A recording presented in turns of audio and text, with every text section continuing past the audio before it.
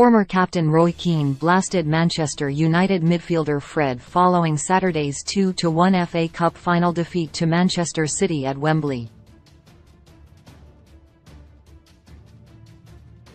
The Brazilian, who is the subject of interest from Fulham ahead of the summer transfer window opening for business later this month, retained his place in the starting lineup from the win over the Cottagers last weekend and partnered Casemiro at the base of the midfield. Fred started the previous Manchester derby at Old Trafford back in January and produced an excellent performance.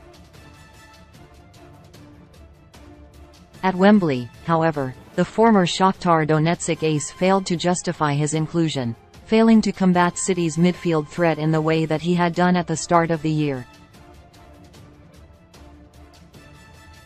He was guilty of giving away too many cheap fouls, one of which resulted in City scoring their second goal. The Brazilian was guilty of tripping Kevin De Bruyne on the right touchline and the resulting free kick, which was crossed in by the Belgian, found Ilkay Gundogan, who crashed in his second goal of the game from the edge of the penalty area. And Keane wasted no time in criticizing the United midfielder for his actions, describing it as the height of stupidity.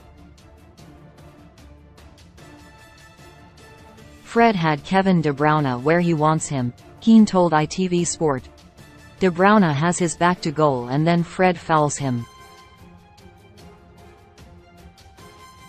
It's the height of stupidity. But we've seen that from him so many times over the years. The 30-year-old, despite making 56 appearances for United this season, could be one of several players to leave Old Trafford this forthcoming summer. United have plans to recruit a new midfielder and Fred could be a prime candidate to make way. At this moment in time, Scott McTominay, who is United's other backup midfielder, is expected to be retained by the club.